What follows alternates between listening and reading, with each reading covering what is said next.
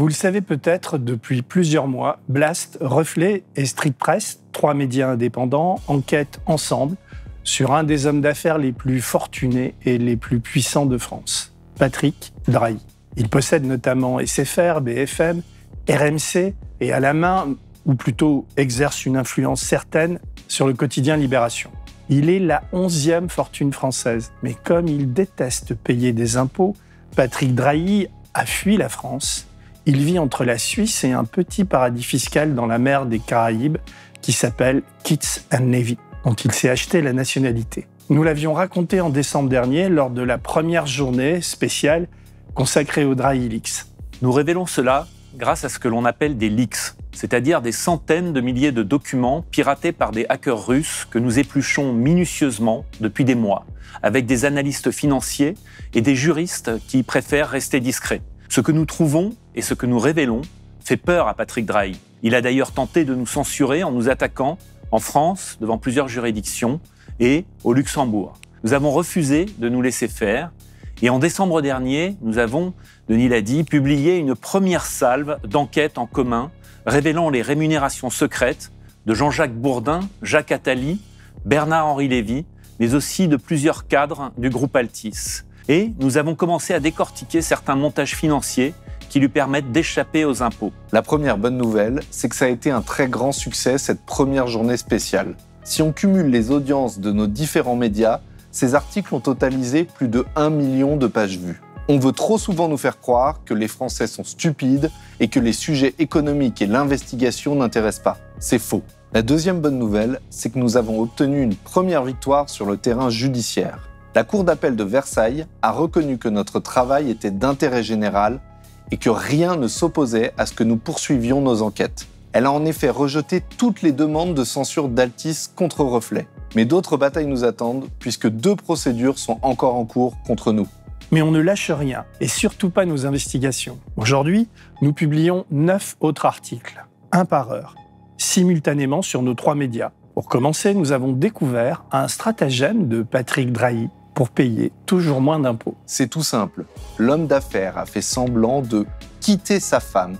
Il a déclaré au fisc suisse qu'ils étaient séparés c'est un mensonge. Nous le démontrons dans une de nos enquêtes qui sort pour cette deuxième journée spéciale Drahi-Lix. L'affaire pourrait coûter très cher à Patrick Drahi, puisque le canton de Genève lui réclame 7,5 milliards d'euros d'arriérés d'impôts et autres pénalités. Nous nous sommes aussi intéressés à SFR, logiquement. C'est le cœur de son empire, la société qui génère le plus de chiffres d'affaires.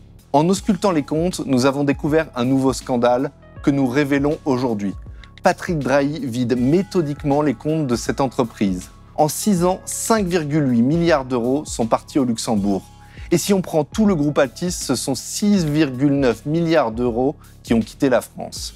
Tout ça n'est pas sans conséquence sur les conditions de travail et l'organisation de la société, ou plutôt sa désorganisation. Depuis son rachat en 2014, le milliardaire n'a eu de cesse de virer des salariés.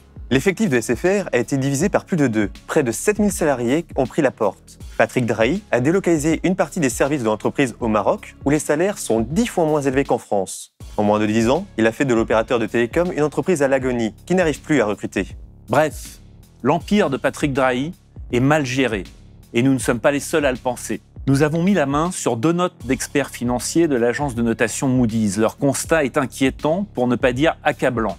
Nous en dévoilons le contenu il souligne le très fort endettement d'Altis par rapport aux concurrents, un management à la botte du milliardaire, des décisions d'investissement et de recours à l'endettement plus qu'erratiques. Mais qu'importe, lui s'enrichit toujours plus. Il accumule un patrimoine immobilier délirant. Patrick Drahi est avec quelques-uns de ses proches propriétaire des locaux de SFR et de BFM, un ensemble de bâtiments qui vaut plus d'un milliard d'euros.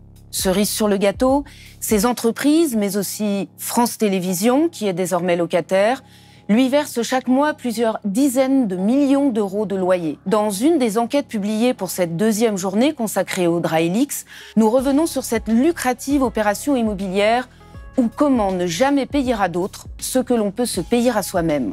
Avec Patrick Drahi, l'art, c'est moins d'impôts. Le propriétaire d'Altis accumule aussi les œuvres d'art. Picasso, Chagall, Giacometti, il possède une collection de plus de 200 œuvres estimées à 750 millions d'euros. L'art est un investissement très rentable. Il lui permet de payer moins d'impôts et ses acquisitions prennent de la valeur chaque année. Le collectionneur Patrick Drahi a poussé ce système à son paroxysme, comme nous le racontons. Nous nous sommes également intéressés à ses collections. Ses chefs-d'œuvre sont en partie accrochés dans ses multiples résidences à travers le monde, mais pas uniquement. Un tiers de sa collection dort dans un immense entrepôt près de Genève. Les initiés le surnomment le plus grand musée du monde. Il permet de stocker les œuvres sans payer de droits de douane. Un système opaque, régulièrement dénoncé. Pour se permettre toutes ces acrobaties, la discrétion est une condition indispensable. Pour Patrick Drahi, les révélations du pool Blast, Reflet, Street Press font tâche, forcément. Mais il ne suffit pas d'essayer de faire censurer la presse indépendante. Pour éviter qu'elle ne soit trop curieuse, autant l'acheter. À côté de BFM ou de Libé, sur lequel nous avons déjà publié deux enquêtes de notre série, il y a une autre chaîne de télévision. Car parmi les lubies de Patrick Drahi, on compte aussi la chaîne d'information en continu Ivanka News. Ivanka News, c'est sa danseuse. En effet, cet outil d'influence peine à rentrer dans ses frais ce qui se répercute directement sur ses employés.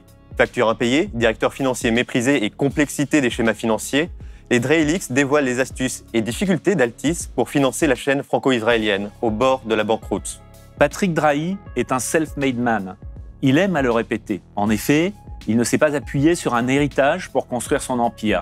Mais c'est tout de même avec l'argent des autres qu'il a bâti sa fortune. Sa méthode est la suivante. Patrick Drahi achète bas en empruntant coupe les coûts, draine les ressources financières des entreprises avant de laisser plonger les cours pour finalement racheter la totalité à bas prix. Au total, son groupe a emprunté près de 70 milliards d'euros. C'est un peu difficile à appréhender À titre de comparaison, le gouvernement impose actuellement à tous les Français de travailler deux ans de plus pour espérer économiser 17 milliards. Tous ces éléments, ces informations, ces combines, nous les révélons aujourd'hui. C'est une journée spéciale Drailix, la seconde, avec une enquête mise en ligne toutes les heures sur chacun de nos trois sites, nos trois médias, à partir de 9 heures. Allez lire nos articles. Nous avons enquêté pendant des mois. Cinq journalistes, mais aussi des analystes financiers, des juristes se sont penchés sur les montages de Patrick Drahi.